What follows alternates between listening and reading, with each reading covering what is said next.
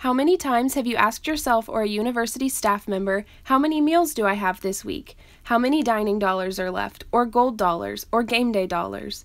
Well, no need to ask anymore. Housing and Dining Services partnered with Transact to allow students access to these various accounts.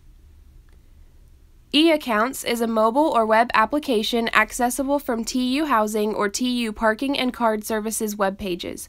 Once logged in, you will be able to view all your accounts tied to your TU ID card, not only to view how much is left, but how it has been spent. Lose your ID card? You can go to e-accounts as well to deactivate your ID card so no one has access to your meals or dollars associated with your account.